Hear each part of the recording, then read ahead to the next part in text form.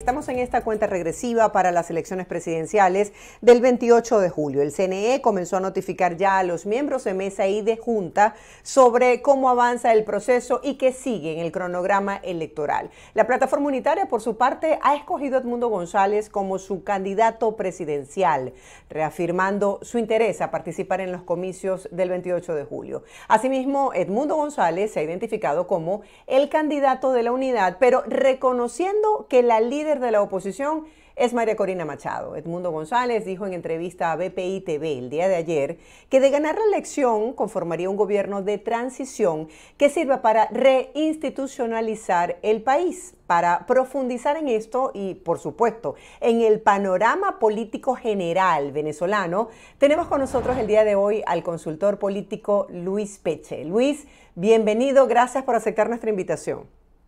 Gracias a ustedes por invitarme, estoy aquí atento a lo que sucede.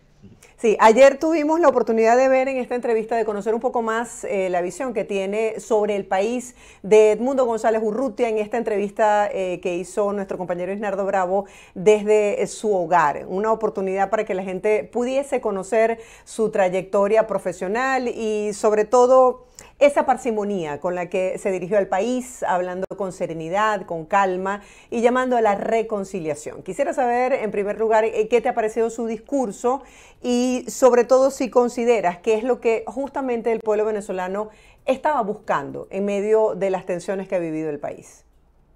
Sí, bueno, la verdad es que una sorpresa muy positiva, ¿no? Toda esta sucesión de hechos de los últimos días ha sido una sorpresa bastante positiva. Creo que si le preguntabas a cualquier analista, consultor hace una semana qué era lo que podía pasar con relación al panorama político en Venezuela, eh, pues creo que los pronósticos eran mucho más pesimistas, ¿no?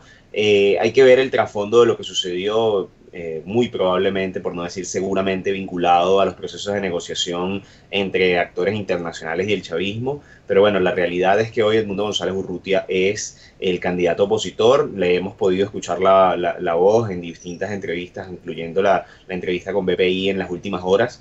Y el discurso ha sido bastante sosegado, tal cual como tú dices, una persona bastante serena, bueno, se nota que es una persona que ya eh, tiene muchísima experiencia acumulada, no solo en el, en, el ámbito político, sino en el ámbito de estar en posiciones de Estado. Resaltó muchísimo su carrera diplomática, su formación diplomática, eh, bueno, en la cual tuvo la oportunidad de formar parte de varios gobiernos y él entendía que esa era una labor de Estado y creo que eso es lo que intenta proyectar, ¿no? Que es una persona de Estado.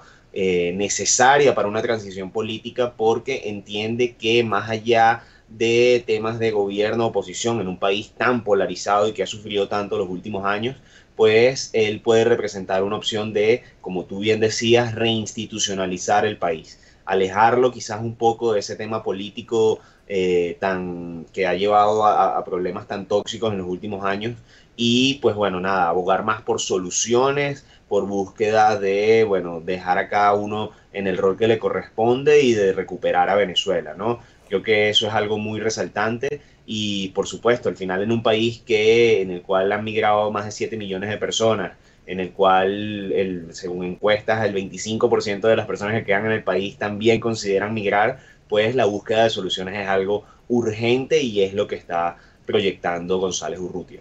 Me llamó la atención su honestidad al decir que aunque al inicio era como lo que llaman el candidato tapa, pues se convirtió en la tapa del frasco finalmente. Él dice que no se lo esperaba, que ni él ni su familia estaban preparados para este momento, para la responsabilidad que debe asumir de aquí en adelante. Y me gustaría conocer tu opinión como consultor político, si ha sido asertivo basado en la realidad, admitir que es el candidato de la plataforma unitaria, aunque el verdadero liderazgo lo representa en campaña y en las calles, en el pueblo de Venezuela, María Corina Machado, o si más adelante debe ir como perfeccionando su discurso, asumiendo su propio liderazgo. Bueno, yo, creo que al final Edmundo González Urrutia es consecuencia de una circunstancia, ¿no? Eh, nadie, bueno, hace una semana creo que prácticamente nadie podría asociar el nombre de Edmundo González Urrutia con un liderazgo opositor y menos con el candidato presidencial opositor, ¿no? Eh, yo creo que eso al final se trata de hablar con honestidad, eh, porque, bueno, son las circunstancias las que llevan a Edmundo González Urrutia a ser el suplente de la suplente de la candidata original Y eh, bueno, al final eso es cierto y, creo que los venezolanos también valoran mucho la honestidad en este momento. Eh, decir, mira, yo no, no era originalmente el candidato, pero me toca asumir y es una posición muy valiente decir, mira, yo doy un paso al frente en un contexto tan complicado como es el venezolano para hacer política, una persona que bien podría estar en este momento sencillamente disfrutando sus años de retiro, eh, luego de, bueno, dedicarle una vida a lo público, a la política y a la, a la diplomacia en Venezuela, pues sencillamente está dando este paso, eh, bueno, en un momento en el cual debe manejarse tal como tú dices, bueno, con palabras más bien moderadas en todos los ámbitos. Él evitó entrar como que muchas polémicas en varios de los temas que, que, se le plantearon. Eh, digamos, tema, bueno, conversar con Nicolás Maduro, recibir apoyos de otras candidaturas, eh, tal como tú dices, pues reconocer el liderazgo de todos los actores involucrados. Sí, a María Corina Machado también reconoció a Manuel Rosales y al resto de actores de la plataforma unitaria, y creo que al final eso es valioso porque eh, aboga y, termina abonando, mejor dicho, al clima unitario. Eh, luego de unos días en los cuales la pugna política opositora interna fue tan evidente, tan crispada, eh, y, se notó durante tantos días que había una, una batalla interna en el seno de la oposición por este tema que era evidentemente muy complicado, pues Edmundo González termina eh, abogando en este momento por, bueno, mira, yo fui la opción unitaria en un contexto tan complicado, vamos a reconocer el esfuerzo de todos y vamos a seguir hacia adelante, ¿no? Sí, esta intención de él de no entrar en polémica y de evitar caer en, en especulaciones pudiese llegar a capitalizar la intención de voto del venezolano en un momento en el que se busca la reconciliación del país. Sí, bueno, ya, ya hay sondeos de opinión antes de que el nombre de Mundo González eh, apareciese en, en, boga. Hay que ver cómo evoluciona este, este clima de opinión. Pero ya de por sí había una pregunta. Recuerdo el sondeo de More Consulting que, que hace 10 días aproximadamente decía que un candidato apoyado por la unidad, por María Corina Machado y la plataforma unitaria, eh, le saca más de 20 puntos de ventaja a Nicolás Maduro. ¿no? Eso es un dato muy duro. Eh, sencillamente el hecho de una persona, sea quien sea, representar la voluntad de cambio del pueblo venezolano ante, claro, el evidente desgaste, rechazo, repudio que hay hacia el chavismo en buena parte de la población venezolana, pues es algo muy poderoso, ¿no? Si a esto le abogas que ya en este momento eh, esa persona tiene nombre, apellido, está hablando y está siendo acompañado con manifestaciones tan importantes como esa, esos fotos y videos que vimos ayer de María Corina en portuguesa y de otros liderazgos de Elsa Solórzano, Freddy Superlano, que estuvieron con, con ella eh, en esta gira, todos mostrando su cara, diciendo, mira, esto es un trabajo de equipo, eso aboga a ese clima de reconciliación, ¿no? Eh, yo creo que eso es un mensaje muy poderoso que solamente va a tender al alza en los días por venir. ¿Su candidatura pudiese representar una esperanza para el pueblo venezolano en medio de las adversidades y qué sigue ahora de cara al cronograma electoral? Ya lo es, ya, ya lo es, lo ves, las manifestaciones de ayer en portuguesa y son conmovedoras, ¿no?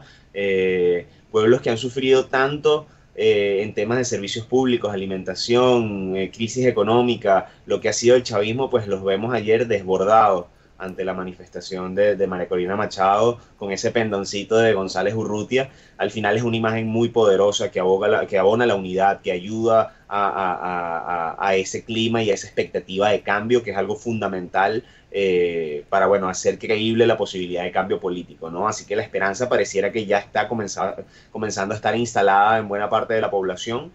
Eh, ¿Qué viene ahora? Bueno, la verdad es que viene un camino complicado, ¿no?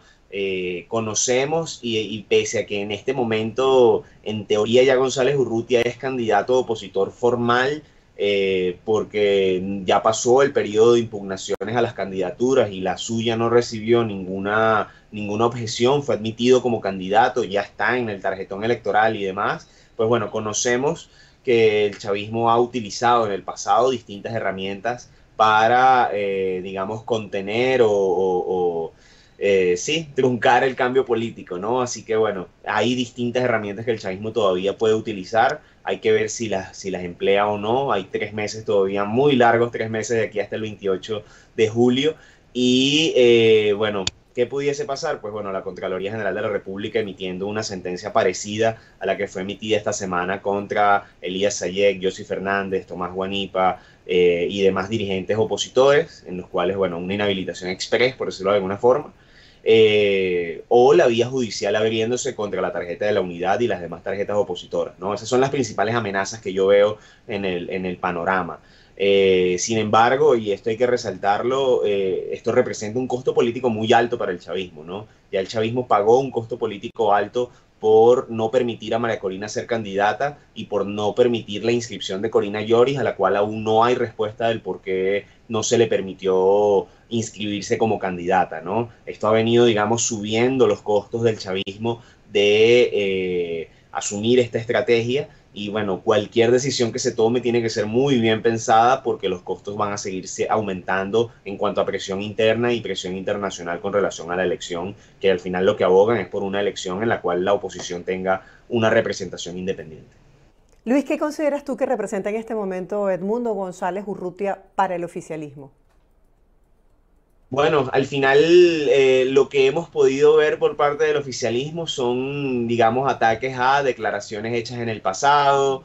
Eh, vimos que Diosdado Cabello se refería a, él, lo llamaba Edmudo porque no había hablado. Eh, al final creo que son más ataques de forma más allá de fondo. Sin embargo, creo que es una, una amenaza real a su sostenibilidad en el poder. Si, si, si nos ponemos a pensar en que es una persona que no tiene causales para ser inhabilitado, eh, no es una figura tan pública, fue difícil incluso conseguir fotos de Edmundo González Urruti en un principio eh, como, como para poder proyectarlo como quién era esta persona en el pasado. Eh, pues bueno, para el oficialismo es una amenaza real en cuanto a su sostenibilidad en el poder, porque es difícil de atacar. Una persona al final que no es tan pública, al final lo único que tienes para, para hacer es, bueno, las declaraciones que vaya lanzando, pues irlas atacando pero tiene que ser una, sobre todo para el chavismo de base que también puede estar descontento con la situación país en general, pues evidentemente es una amenaza con relación a lo que, lo que representa en cambio Maduro y estas personas que ya tienen un cuarto de década, un cuarto de siglo en el poder, ¿no?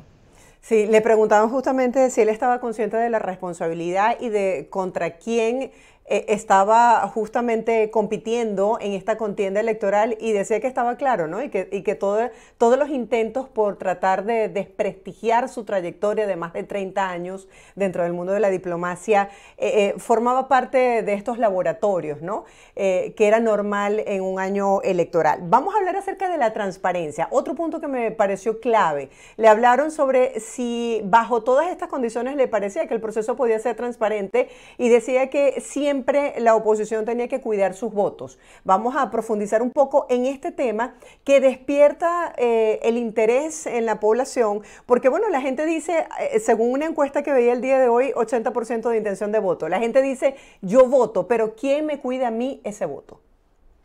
Sí, al final ese sí es una tarea que tiene que cumplir la, maquinaria política opositora que acompaña a Edmundo González Urrutia. Y esa es la tarea que tienen en estos tres meses que vienen, ¿no? Eh, al final conocemos los riesgos de participar en un contexto electoral tan adverso por parte de la oposición. Y al final esto termina, bueno, ¿cuál es el antídoto para ello? Pues la organización electoral. Tener personas en todos los centros de votación que puedan, tal cual como decía el candidato, resguardar ese resultado de votación. Saber que si hay un centro vacío de testigos electorales opositores, pues es muy probable que veamos un resultado atípico eh, de 100% de votos a Maduro, ¿no? Eh, entonces, ese tipo de cosas es la principal tarea que tiene la oposición. Creo que se ha venido atajando bien con las dos propuestas principales de María Corina Machado y la plataforma unitaria, que es la red 600K y los comanditos. Al final es eso, una forma de microestructurar y organizar al nivel más local posible todo el tema de eh, eh, cómo cuidar los votos, cómo hacer presencia el día de la votación, cómo movilizar también a los votos opositores, de, transformar esa intención de voto en que verdaderamente las personas vayan y ejerzan su derecho el día 28 de julio. Así que bueno, eso es tarea, eso al final termina siendo eh, la gran responsabilidad de todos los factores opositores de aquí a julio, es eso, organizar a las personas de cara al proceso. Ya quedan pocos días de cara a lo que significa esta fecha importante para nuestro país. Eh, ¿Cuáles crees tú que son los puntos claves que debe eh, cuidar en este momento la oposición venezolana? ¿Y qué pasaría, por ejemplo, con las otras eh, candidaturas? ¿Piensas que más adelante algunos candidatos pueden adherirse a lo que significa Edmundo González como representante de la plataforma unitaria? Bueno, ahí, son, son, son, dos preguntas. ¿Qué debe hacer la oposición? Pues primero y principal, cuidar a toda costa Edmundo González Urrutia. Él ayer decía que él prácticamente ni va a salir de, de, su casa, va a cuidarse mucho, porque bueno, evidentemente hay riesgos asociados a hacer política en Venezuela. Él es una persona mayor, no, no creo que lo veamos como que en grandes mítines ni nada por el estilo, va a ser una campaña más bien eh, conservada él ahí, mientras el resto de liderazgos giran. Eh, y las responsabilidades de la oposición van en lo que te decía anteriormente, preparar a la población para la defensa del voto y el proceso del 28 de, julio. Y eh, bueno, toda la movilización de aquí a allá, seguir generando una campaña que anime a los venezolanos y demás, ¿no? En cuanto al resto de actores políticos, yo los divido en dos. Eh, yo creo que hay ejemplos como el de Enrique Márquez ayer, es una persona que se reunió con la plataforma unitaria, que fue considerado como opción, eh, de hecho, para el tema de los apoyos al final en la sustitución de candidaturas. Y es una persona que dice, mira, yo estoy aquí, eh, puedo significar o puedo representar una opción de emergencia en caso de que suceda algo de aquí a julio. A mí me parece que eso no es reprochable. En el momento en el que ya lleguemos a la última semana de julio, si Edmundo González Urrutia se mantiene en la carrera y demás, pues evidentemente el rol de Enrique Márquez debería ser el de abonar a ese clima unitario y respaldarlo, ¿no? Pero eh, eh, yo no, no junto a este tipo de liderazgos con otras personas que evidentemente forman parte de la estrategia del gobierno para intentar dispersar el voto opositor, confundir, etcétera, que son, bueno, personas como José Berito, no sé, eh, que Luis Eduardo Martínez, que utilizan los símbolos de partidos judicializados que no representan a la dirigencia, a la militancia de partidos como Primero Justicia y Acción Democrática, y que sencillamente terminan siendo fichas del gobierno para intentar confundir, ¿no? Ese tipo de personas, pues evidentemente tienen su rol, eh, que es confundir, tal cual como te digo, y muy probablemente abonar a la estrategia de gobierno. Y ahí hay poco que hacer, ¿no? Ellos van a seguir existiendo, eh, van a tener acceso a medios de comunicación, van a seguir confundiendo a, a, personas y bueno, es parte del rol de la dirigencia opositora, pues bueno, abonar de bueno, Edmundo González Urrutia es la unidad, por eso pese a que yo soy ADECO, por poner un ejemplo, eh, yo ayudo a la unidad. Eh, pero bueno, esas personas van a seguir estando y, van a seguir formando parte de ese clima adverso para la hora de hacer eh, oposición y hacer campaña electoral en Venezuela. Necesito un monosílabo para despedir porque se me acabó el tiempo. ¿Crees que la gente, el pueblo venezolano está claro sobre eso, sobre esas propuestas que intentan dividir? Pese a la censura y pese a todo lo que ha sucedido, sí, los venezolanos parecen estar claros de dónde es la opción. Gracias Luis por acompañarnos el día de hoy. Feliz fin de semana para ti. Gracias a ustedes por la invitación. Era Luis Pecha, consultor político venezolano, hablando el día de hoy sobre esta opción de la Plataforma Unitaria de Venezuela, Edmundo González Urrutia y su visión país.